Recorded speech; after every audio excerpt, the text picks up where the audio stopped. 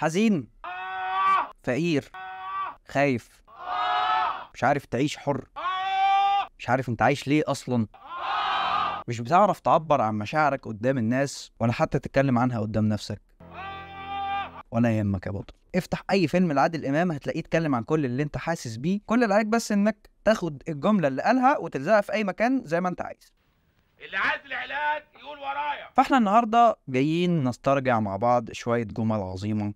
من اللي قالها عادل إمام في أفلامه عبارات مؤثرة وفعلا مهمة. وحقيقي هم كتير جدا. فرب اللي نختارهم يكونوا آه، موفقين وكويسين. خلينا نبدأ بأول حاجة كده على الخفيف والهادي في فيلم الحريف. وهو جملة أنا هلعب مع الخسران. أنا هلعب مع الخسران. هي تقريبا الأشهر لعادل إمام وسط جمل كتير جدا. فارس الحريف في آخر الفيلم بيتفرج على ماتش داير في الشارع والمفروض إنه آخر ماتش هيلعبه فارس في حياته. فبتيجي الجملة بالطريقة دي. هتخليك لما الماتش يخلص وتلعب على نضيف. وليه؟ مين اللي غالب واختار طبعا. أنا هلعب مع الخسران. أهمية الجملة دي تكمن في فكرة إزاي فارس واللي زيه بيواجهوا الحياة خسرانين. كلنا خسرانين وبنلعب مع بعض عشان نحاول نفوز بأي حاجة. ولما بتيجي لحظة الانتصار الأخيرة خلاص بيبقى زمن اللعب راح. زمن اللعب راح. وطبعا ده غير تاني جملة في نفس الفيلم برضه ألا وهي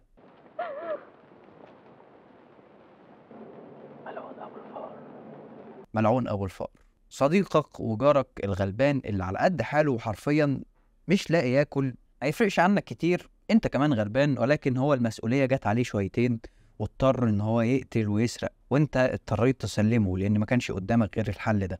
وشا... وشايف قدام عينيك مراته بتعيط وفي إيديها وفي إيديها عياله. مش هيجي في بالك غير جملة واحدة بس.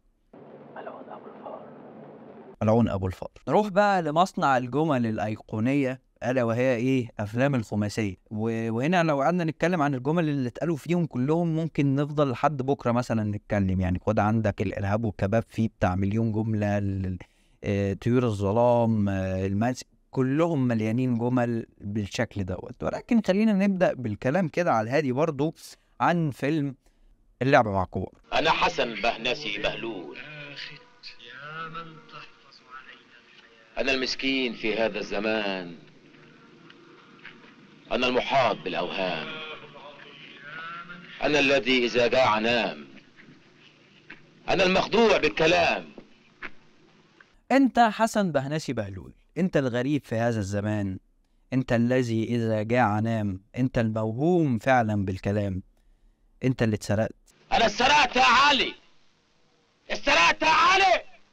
وبينتهي المشهد بالجملة الأعظم والأكثر تعبيرا وتساؤلا عن نهاية كل ده وبتقول وآخرتها يا علي سرقنا بكل الأشكال يا حسن. كويس إن ابو الهول والاهرام لسه ما سرقوش. عشان دي حجارة يا حسن. هو لازم كل حاجة بلادنا تبقى حجارة عشان ما تسرقش يا علي. حتى الحب والروح الحلوة اتسرقوا يا علي. واخرتها يا علي.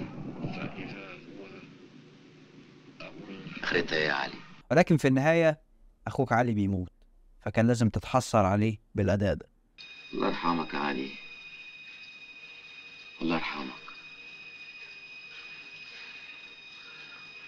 ده أنا صغيرين قوي يا أخي. وغلابة قوي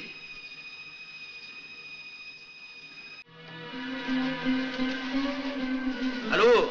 ألو؟ علي الزهار مات. علي الزهار اتقتل. مين؟ مش مهم أنا مين علي الزهار اتقتل يا أستاذ. مدام أنا حسن بهلاسي بهلول. أنت بتعملي إيه؟ علي الزهار مات. علي غلبان يا عيني مات. مات يا مدام. بيموت علي ولكن بتبقى أحلامه عايشة معاك فكان لازم تنهي وتقول أحلام. أحلام.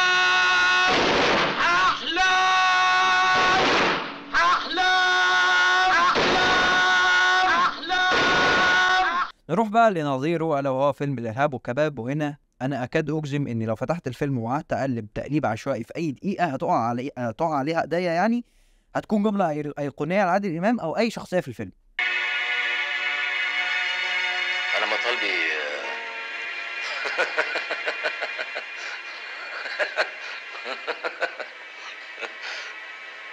أنا ماليش مطالب ولكن رغم كل ده انت خايف متهان مش عارف تعبر حبايبك في خطر وممكن يختفوا في أي وقت لمجرد إنهم نفسهم يعيشوا أحرار أنت وحبايبك مطالبكم بسيطة جدا ما تستحقوش كل ده فكان لازم تقول. أنا زي زيكم بالظبط. ماشي جنب الحيط. راضي وقانع أنا مش طالب على انسانيتي مش عايز أتهان. مش عايز اتهان في البيت ولا في شغلي ولا في الشارع. بتهيألي دي مطالب لا يمكن اتعاقب عليها ولا أوبخ ولا ألام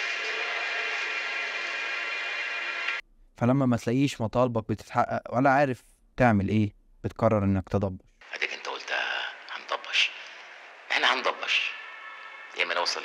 ونقف على رجلينا. يا اما نغرق مفيش حل تالت. وسط التطبيش ده بتقع في وظيفة لقيت حاجة تلهيك عن حياتك. صحيح هتبقى عبد وطالع عين أهلك بس يلا أحسن من مفيش تعدي عليك الأيام ويمكن السنين كمان وأنت في نفس المكان. بتاخد راحتك قوي وتداين نفسك وتلاقي عليك أقساط حاجات كتير قوي عليك لحد ما بتزهق. بتزهق من كل حاجة ولكن للأسف مش هتعرف تمشي. فكان لازم تقول زهقتي حلو قوي ده. حلو قوي الواحد لما يزهق يقدر يمشي على طول. أنا برضه زي حضرتك كده. ساعات كتير أزهق بس ما أقدرش أمشي. لو مشيت الوترات تخش في بعض. أنا لو زهقت السجن عارفة؟ في ناس كتير تزهق بس ما تقدرش تمشي. تموت وهي زهقانة. أنا واحد منهم. ولو هتكلم عن عمل بعينه مش هكون ببالغ وأنا بقول إنه كل جملة مكتوبة فيه هي متفصلة على عادل إمام بالظبط عشان تطلع جملة قوية ومؤثرة. والكلام هنا عن مسلسل الأق... عن المسلسل الأقرب لقلب عادل إمام ألا وهو أحلام الفتى الطائر. الحياة والأحلام والعيشة والحب والمغامرة كلهم اجتمعوا في مكان واحد. أنت مش بتتفرج أنت كمان عايش معاهم وبتسافر مطرح ما بيسافروا. وكل ده طبعا بيتم التعبير عنه على لسان عادل إمام وخليني أسيبك شوية مع بعض الجمل العظيمة من المسلسل دوت واللي هي بتعبر عن نفسها مش محتاجة أي شرح مني. طبعا القدر ده عصبنا أنا. يا مالها مالها عمالة تقفل عليا كده ليه؟ لا الفلوس كل حاجة حسين. حسين الدنيا عاملة زي سبق الخيل. البني آدم فيه حصان بيجري. الحصان اللي جوه السبق لازم يفضل يجري سواء كسبان أو خسران. لازم يكمل. الحصان اللي بيقع ما بيرجعش يلعب تاني. عمره ما بيرجع لأرض السبع يا حسين. بيطلعوه بره علشان يجر عربيات كره يديك أجر عربيات كره حسين. عايز أنام. نفسي أنام من غير ما أكون حاسس بقلق ولا بخوف. أنا أي في حسين. في حاجات حلوة كتير في الدنيا تبقى عايز تملكها و... وتلاقي شرط قاسي يعجزك تفضل طول عمرك نفسك فيها. ومش قادر تطولها يا أخي. انسى إيه ولا إيه يا حسين تقدر تنسى اسمك؟ طبعا لا. كمان ما تقدرش تنسى أفعالك. أفعالك مش حب سجارة ترميها وتدوس عليها يا حسين. صعب. صعب قوي وبس تقدر تعتبر الحلقة الخفيفة ديت هي رسالة حب لعبارات عادل إمام في تاريخ السينما. ويبقى كده عبر عني وهكذا عبر عادل إمام عني وعنك وعننا كلنا. وبس كده دي كانت كل حاجة عندي في الفيديو دوت. و وفيديو خفيف كده لطيف ف... وإحنا قاعدين برضو عشان في لخبطة في الأوضة عندي مش مش عارف اصور وأنا واقف ومش لاقي المايك بتاعي فبسجل بالتليفون. ف فاستحمل ال... ال... ال... ال... ال- المسكة ديت يعني لا مؤاخذه ف... فبس يا صديقي. أشوفكم على خير حلقة جديدة. وبس. سلام. ابدا. أصلا مش أول مرة أخسر فيها.